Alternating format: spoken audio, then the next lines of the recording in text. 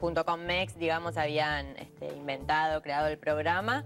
Este, así que de ahí, digamos, De ahí salí de ahí. Pero ¿Y ¿ya estudiabas teatro? Perdón, pero ¿ya estudiaba, estudiabas con, teatro? estudiaba con Nora en, en el coso de Hugo Midón, en la escuela de Hugo Midón. Pero ya que ya la vocación de actriz la, tenés, la tenías como identificada muy de chica. Sí, Porque a los 12 ya están en, digo... Sí, sí, sí, me, me gustaba un montón. O sea, tengo fotos como de, tipo a los dos años toda montada, disfrazada con collares.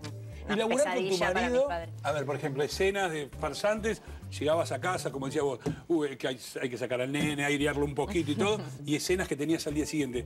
A ver, en el living, bueno, vamos a practicar, pasemos letra, o llegabas a casa y nada. Eh, Teto quiere saber el, el adentro de casa. el quiere saber adentro cómo de es adentro. casa. Claro, claro, a ver cómo es. No, más que nada se chusmeaba como Claro. del día. eh, pero. Y, perdón, y no vamos a entrar en espectáculos, farsante daba para chusmear.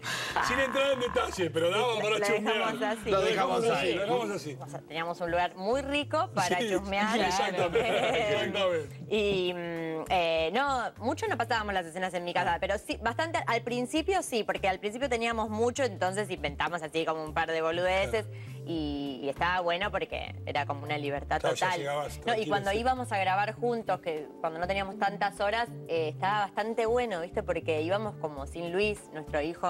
O sea, estábamos Era la como salida solos. loca. Era nuestra, Claro, salida de joda, Juli, un poco era la grabación. hay mucha gente que tiene esa, esa duda que te acaba de decir eh, Teto de cómo es trabajar con tu marido. Aparte ahora tu marido está rodeado de minones. De guapas. De guapas. Que no se te haga, que no se te haga el vivo, ¿eh? No, que sí, yo estoy- ay, cortito, así, no sé cómo- no se te haga el vivo. cómo te caerá. Pero la, la gente tiene muchas preguntas para hacerte y la vamos a escuchar.